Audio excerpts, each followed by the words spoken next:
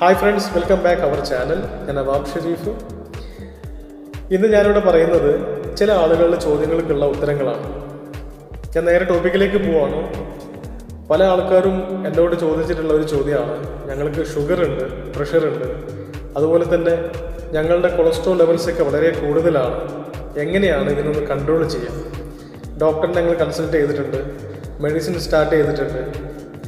Doctor പറഞ്ഞ പോലെ രാവിലെ നടക്കാനൊക്കെ പോകലുണ്ട്. ഞങ്ങളെ കൊണ്ടാവുന്ന വിധത്തിൽ ഫുഡൊക്കെ കൺട്രോൾ ചെയ്യലുണ്ട്. എന്നാൽ പോലും രണ്ട് മൂന്ന് മാസം കഴിഞ്ഞിട്ട് ഞങ്ങൾ ലെവൽസ് ചെക്ക് ചെയ്യുമ്പോൾ വലിയ മാറ്റങ്ങളൊന്നുമില്ല. അപ്പോൾ എന്താണ് ഇതിനൊരു പ്രതിവിധി? നമുക്കറിയാം നമ്മൾ ജീവിക്കുന്ന ഈ കാലഘട്ടത്തിൽ ഹാർട്ട് അറ്റാക്ക് സ്ട്രോക്ക് എന്നത് വളരെ കോമൺ ആയി. എവിടെയെങ്കിലും ഒരു മരണം കേട്ട് കഴിഞ്ഞാൽ ആ മരണത്തിന്റെ കാരണം നമ്മൾ അന്വേഷിക്കുകയാണെങ്കിൽ നമുക്ക് മനസ്സിലാക്കാൻ പറ്റും. അതൊരു ഹാർട്ട് അറ്റാക്ക് ആയിരുന്നു. അപ്പം അത്രയും സില്ലി ആയിട്ട് കാണുന്ന ഒരു സമൂഹത്തിലാണ് നമ്മളിപ്പോൾ ജീവിച്ചുകൊണ്ടിരിക്കുന്നത്. അപ്പോൾ ഈ പറഞ്ഞ ഹാർട്ട് അറ്റാക്ക് സ്ട്രോക്ക് ഇതിനെല്ലാം കാരണം ഈ പറഞ്ഞ ഹൈ കൊളസ്ട്രോൾ ലെവൽസ് അതുമൂലം ഉണ്ടാവുന്ന ബി പി ഇതൊക്കെയാണ് കാരണം. എങ്ങനെയാണ് ബോഡിയിൽ കൊളസ്ട്രോൾ ലെവൽസ് കൂടിയത്? എന്തുകൊണ്ടാണ് ബി പി കൂടുതൽ കാണിക്കുന്നത്? എന്തുകൊണ്ടാണ് ഞാൻ ഒരു ബിക്കം ഒരു ഷുഗർ പേഷ്യന്റ് ആയത്? ഇതിനെല്ലാം കാരണം നമ്മുടെ ഭക്ഷണ രീതി നമ്മുടെ life style lack of exercise എല്ലാം ഇതിന് കാരണമാണ്. അപ്പം ഇങ്ങനെയുള്ള കാര്യങ്ങൾ അതായത് കൊളസ്ട്രോൾ ബി പി ഷുഗറൊക്കെ കൺട്രോൾ ചെയ്യാൻ നമ്മൾ എങ്ങനെയാണ് നമ്മൾ ഓരോരോ കാര്യങ്ങൾ അതിന്റെ രീതിയിൽ ഫോളോ ചെയ്യേണ്ടത്?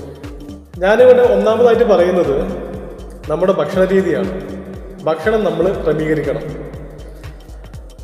പല ആൾക്കാരും രാവിലത്തെ ഭക്ഷണം എന്ന് വെച്ചിട്ടുണ്ടെങ്കിൽ ചപ്പാത്തി ആണെങ്കിൽ ഏഴ് ചപ്പാത്തി എട്ട് ചപ്പാത്തി. ഇഡ്ഡലി ആണെങ്കിൽ എട്ട് ഒമ്പത് ഇഡ്ഡലി. പുട്ടാണെങ്കിൽ മൂന്ന് നാല് കഷ്ണം പുട്ട്. ഇങ്ങനെ കഴിക്കുന്ന ആൾക്കാരൊക്കെയാണ്.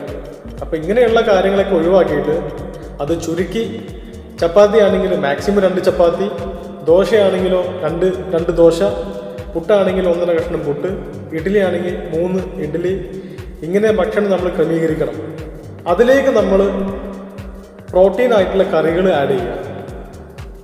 ഇപ്പോൾ പരിപ്പ് കറി കടല സോയാബീൻ ബീൻസ് ഇങ്ങനെയുള്ള പ്രോട്ടീൻ ആയിട്ടുള്ള കറികൾ നമുക്ക് ആഡ് ചെയ്യാം. അല്ലെങ്കിൽ മീൻ ചിക്കന് ഇങ്ങനെയുള്ളതൊക്കെ നമുക്ക് ആഡ് ചെയ്യാം. അതുപോലെ തന്നെ ലഞ്ചിൽ പലരും കഴിക്കുന്നു വെച്ചിട്ടുണ്ടെങ്കിൽ ആദ്യം ഒരു വലിയ പാത്രത്തിൽ ചോറെടുക്കും. അത് കഴിക്കും. അത് കഴിഞ്ഞിട്ട് പിന്നെയും അത്രയും ചോറെടുക്കും. അത് കഴിച്ചാൽ വയറ് നിറയും. അപ്പം അങ്ങനെയുള്ളത് മാറ്റിയിട്ട് ചപ്പാത്തി ആക്കുകയാണെങ്കിൽ രണ്ട് ചപ്പാത്തി. ഇപ്പോൾ ചോറ് കഴിക്കുകയാണെങ്കിൽ ഒരു മീഡിയം ബൗൾ ചോറ്. അതിലേക്ക് ആവശ്യമായിട്ടുള്ള പ്രോട്ടീൻ ആയിട്ടുള്ള കറികൾ സാലഡ് പിന്നെ തൈര്. ഇതൊക്കെ നമുക്ക് ഉപയോഗിക്കാൻ പറ്റും. അതുപോലെ തന്നെ ഡിന്നറിൽ മാക്സിമം ചപ്പാത്തി കഴിക്കാൻ ശ്രദ്ധിക്കുക. ഈ ചപ്പാത്തി എന്ന് പറയാൻ കാരണം ക്വാണ്ടിറ്റി കിട്ടാൻ വേണ്ടിയിട്ടാണ്. ഓക്കെ ഒരു ഒന്നര ചപ്പാത്തി മാക്സിമം കഴിക്കാൻ നോക്കുക. ഇനിയിപ്പോൾ ചപ്പാത്തി അല്ലെങ്കിൽ ചോറാണെങ്കിൽ ഒരു ചെറിയ ബൗൾ ചോറ് കഴിക്കുക. അതിലേക്ക് ആവശ്യമായിട്ടുള്ള പ്രോട്ടീൻ ആയിട്ടുള്ള കറികൾ പിന്നെ സാലഡ് പിന്നെ രാവിലെ പതിനൊന്ന് മണിക്കാണെങ്കിൽ ചായ കുടിക്കുക കട്ടൻ ചായ കുടിക്കുക. മധുരം ഇടാതെ കുടിക്കുന്നതാവും ബെറ്റർ അതുപോലെ തന്നെ ഈവനിങ്ങിലും കട്ടൻ ചായ കുടിക്കുക മധുരം ഇല്ലാത്തത്. അപ്പോൾ ഇതാണ് നിങ്ങളുടെ ഡയറ്റ് ഇങ്ങനെയാണ് ഭക്ഷണം നിങ്ങൾ ക്രമീകരിക്കേണ്ടത്.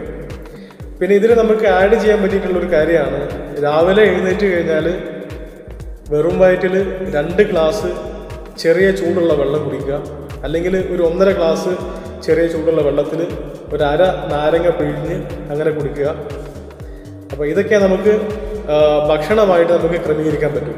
ഇങ്ങനെ രണ്ടാമത്തെ കാര്യം എക്സസൈസ് അപ്പോൾ നമ്മൾ ഫുഡ് കൺട്രോൾ ചെയ്ത് കഴിഞ്ഞാൽ അടുത്ത് നമ്മൾ ശ്രദ്ധിക്കേണ്ട മറ്റൊരു കാര്യമാണ് എക്സസൈസ് ഒരാഴ്ചയിൽ ആറ് ദിവസമെങ്കിലും ഓരോരോ മണിക്കൂർ വെച്ചിട്ട് എല്ലാവരും എക്സസൈസ് ചെയ്യാം പ്രത്യേകിച്ച് ടൈമുകളൊന്നുമില്ല ഏർലി മോർണിംഗ് ചെയ്യുക.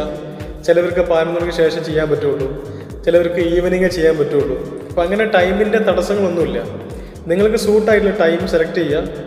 എന്നിട്ട് നിങ്ങൾ മിനിമം വൺ അവർ ഇനിയിപ്പോൾ ഒരു മണിക്കൂറും പതിനഞ്ച് മിനിറ്റ് ആയാലും പ്രശ്നമില്ല. ഒന്നര മണിക്കൂർ ആയാലും കുഴപ്പമില്ല.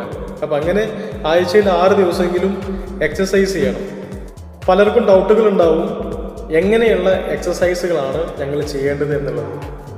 High blood pressure sugar cholesterol levels ഒക്കെ കുറക്കാനായിട്ട് ഏറ്റവും നല്ല എക്സസൈസ് ഏതാണെന്ന് ചോദിച്ചു കഴിഞ്ഞാൽ നമുക്ക് പറയാൻ പറ്റും.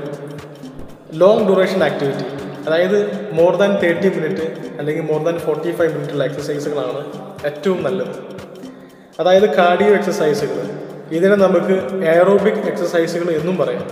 ഓക്കെ ഇതിന്റെ ഉദാഹരണങ്ങൾ walking jogging cycling swimming kick boxing ഇങ്ങനെയുള്ള ആക്ടിവിറ്റികൾ നിങ്ങൾക്ക് സൂട്ടായിട്ടുള്ള ആക്ടിവിറ്റി തിരഞ്ഞെടുക്കുക.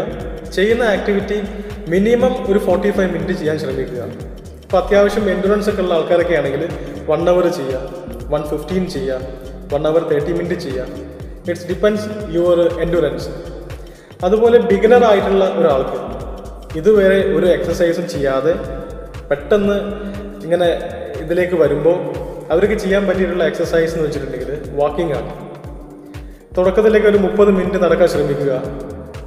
മൂന്ന് നാല് ദിവസം കഴിഞ്ഞിട്ട് മുപ്പത്തഞ്ച് മിനിറ്റ് ആക്കുക നാൽപ്പത് മിനിറ്റ് ആക്കുക ഒരു പത്ത് ദിവസം കഴിഞ്ഞിട്ട് നാൽപ്പത്തി അഞ്ച് മിനിറ്റ് ആക്കുക. രണ്ടാഴ്ച കഴിയുമ്പോൾ വൺ അവർ ആക്കുക. പിന്നെ പതുക്കെ പതുക്കെ ജോഗിങ് ചെയ്യാൻ ശ്രമിക്കുക. വാക്കിംഗ് ചെയ്യുമ്പോൾ കൂടെ ഇടയ്ക്ക് ജോഗ് ചെയ്യാൻ ശ്രമിക്കുക. ചില ആളുകൾക്ക് ജോഗിങ് അല്ലെങ്കിൽ റണ്ണിങ് ചെയ്യുമ്പോൾ ankle pain knee pain back pain സർവിക്കലൊക്കെ വരാൻ ചാൻസ് ഉണ്ട്. അപ്പം അങ്ങനെയുള്ള ആൾക്കാർ ഇപ്പോൾ സൈക്കിളൊക്കെ ചവിട്ടാൻ പറ്റുന്ന ആൾക്കാരൊക്കെ ആണെങ്കിൽ സൈക്ലിങ്ങിന് പോവാം. ഒരു ഫോർട്ടി ഫൈവ് മിനിറ്റ് അല്ലെങ്കിൽ വൺ അവറൊക്കെ സൈക്ലിംഗ് ചെയ്യാം. അല്ലാത്ത ആൾക്കാർ ജോഗിങ് റണ്ണിങ് ഒക്കെ അവർ കണ്ടിന്യൂ ചെയ്യാം.